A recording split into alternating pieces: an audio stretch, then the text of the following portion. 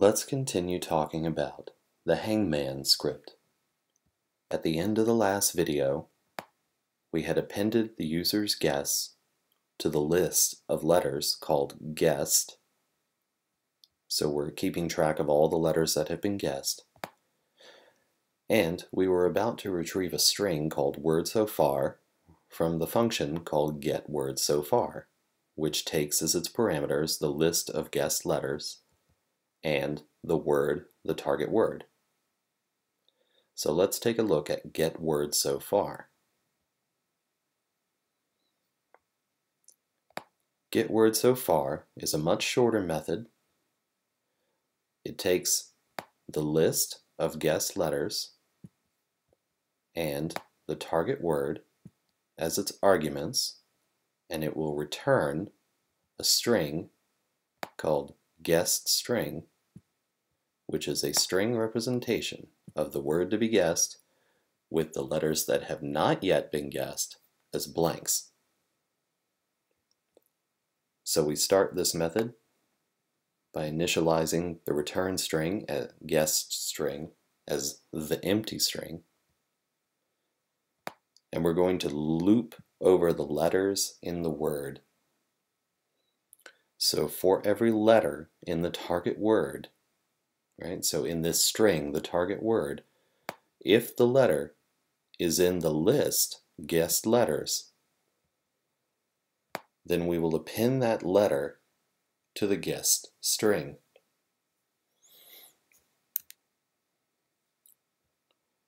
If that letter has not been guessed, then we will append a blank to the guessed string. And so we're now returning this string which is comprised of either letters or blanks. Well, it's comprised of both letters and blanks, depending on whether or not the letter has been guessed. And that's it. That's all this function does.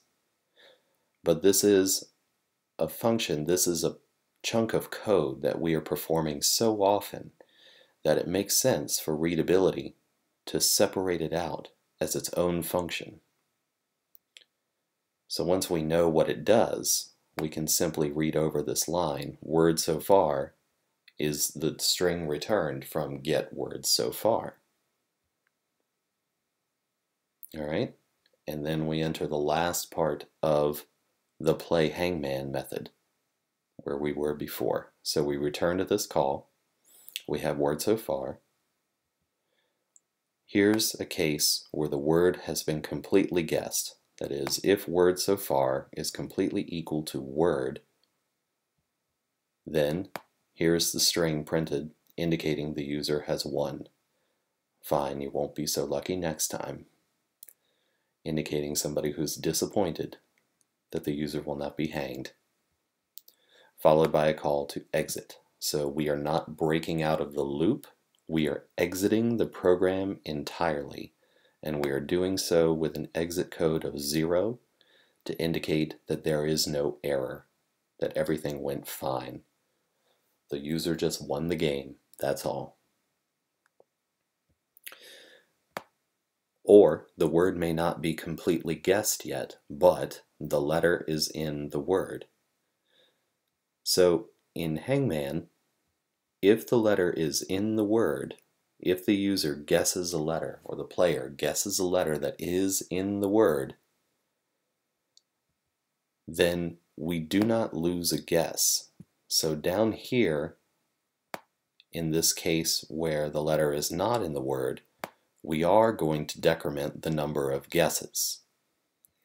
But up here, if the letter is in the word, we're not. So there is no statement, there is no statement to decrement num guesses we're simply going to print out the word so far in the string dot dot dot. So the word so far will be printed right here. And we already know that word so far is a string of blanks and letters, depending on whether those letters have been guessed. If the guess is not in the word, right, so if this condition does not pass, we will decrement the number of guesses, and we will inform the user right here, here is the string so far, which presumably will be the same string returned from their last guess. And in these curly braces, we will input the word, or we will input the value num guesses to indicate how many guesses are left. And again, here in the language, just trying to be cute, so many steps remain to the gallows. So it creates tension. 10 steps remain, 9 steps remain, 8 steps remain, and so on. It's just a way to indicate to the user that they have so many guesses left to guess the word. And that is the end of the while loop. So, if we exit the while loop because the user runs out of guesses, then once again we print this message meant to indicate game over, meant to indicate that someone has died, the hangman has died. And it tells you what the word is that couldn't be guessed.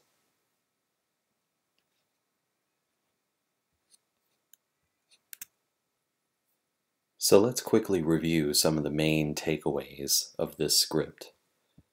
We saw here the use of a positional parameter and the uh, and passing that to a function.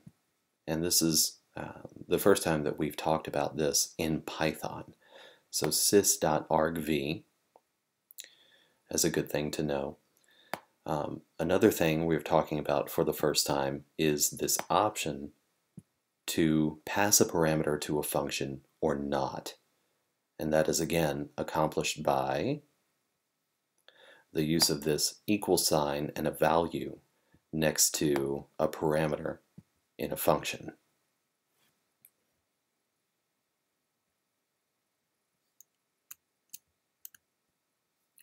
We made use of strings and lists in this game, and a few points of syntax worth noting. We looked at how this operator in can be used to test very simply whether or not a character is present in a string and we can also use it to check whether a value is in a list. So in performs a similar function for both strings and lists. We got to see the results of certain functions that can be called on strings. So for example, testing whether a string falls into a certain character class using isAlpha. And of course there are others like isDigit to make sure you have an entirely numerical string.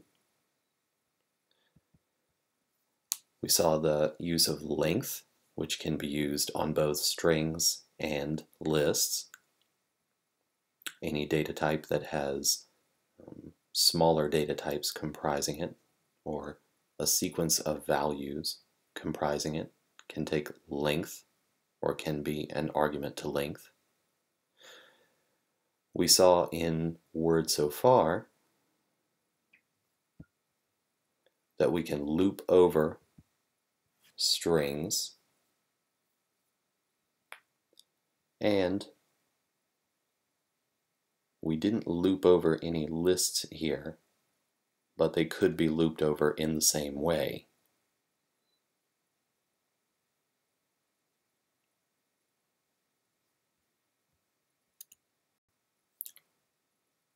So with the exception of isAlpha, which can only be used for strings, a lot of what we have done in here, a lot of the operations we have taken on strings and lists can be done for either one. Append is another exception. Append works for lists. For strings, we would want to use string concatenation.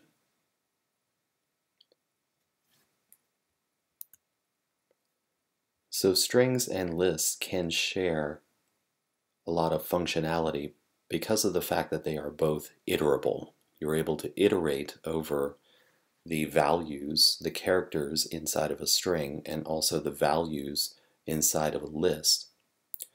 One big way that strings and lists are different is that strings are immutable and lists are mutable. If something is mutable, it can be changed. So we could reset the values stored at the first index of a list at any point, no problem. If we try to reset the value of a string at any point, uh, at any index, we run into a problem. So let's just take a look at that.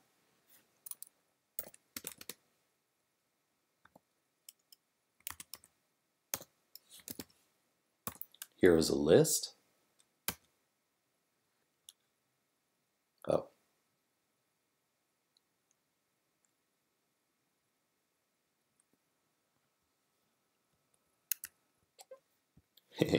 and of course, you should be in Python before trying that. Let's try that again.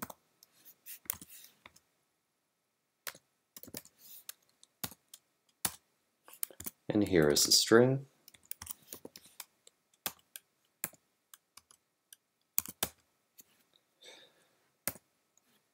we could set the first index of a list to another character. No problem. But we cannot set the first value of a string to another character. So, strings are immutable. But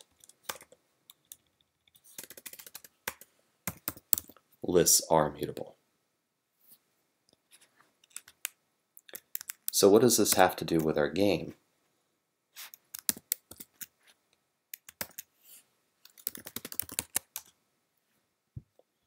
You'll notice that we need to get a new string every time the user makes another guess. That is, we need to make another call to get word so far. Notice that get word so far does not at all acknowledge the value that was previously returned from get word so far. So we are returning a new string every time. So in a way, this method exists because of the fact that strings are immutable, that we need to get a new string every time. So as an exercise, you might think about how you might re-implement this code using a list. And specifically, how could you use the same list of letters to represent the word as it has been guessed so far? And how could you update that list as you go along? You wouldn't need to get a new list every time. And it's possible at any time to change that list into a string using the join method.